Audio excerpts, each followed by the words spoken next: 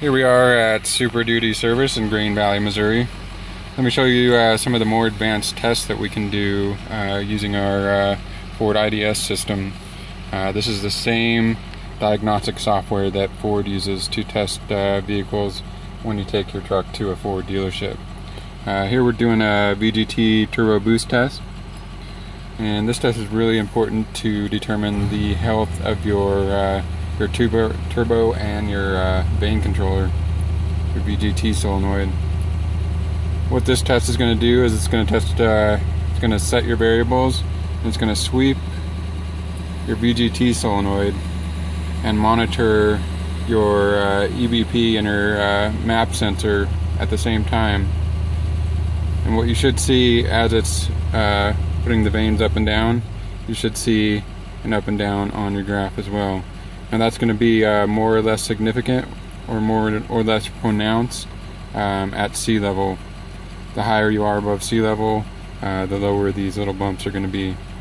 Um, so if you're having issues with your truck, you can bring your truck on in and uh, we can do a test that'll uh, diagnose the health of your system.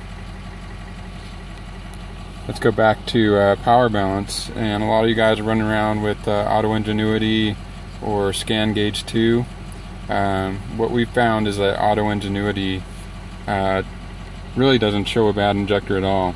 Uh, we used AutoEnginuity for a long time thinking that the power balance in AutoEnginuity was perfectly fine.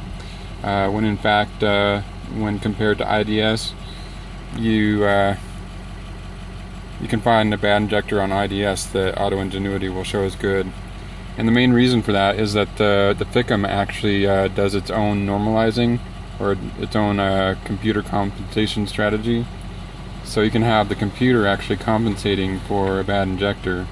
Um, so we can come in here, we can uh, turn off individual injectors while the test is running. We can turn off the computer FICM compensation and uh, give you a much better idea of what's going on.